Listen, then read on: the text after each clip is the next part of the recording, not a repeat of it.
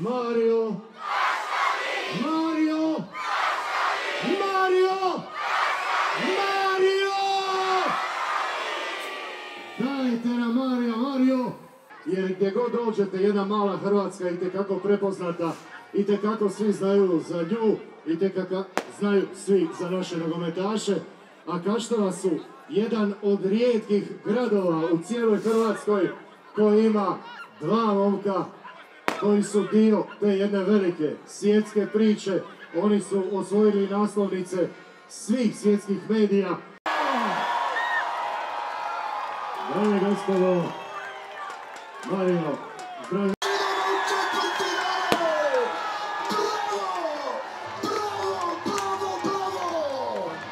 Bravo! Nije ovako osjećaj stalno na miru. Šta su tvoji dobar rekli prvo na ovo, recimo? Ma emotivno, šta će reći. E, drago mi je što je supruga i, ovaj, i sin, sa što mogli prisustvovati tome. Poslije su došli roditelji.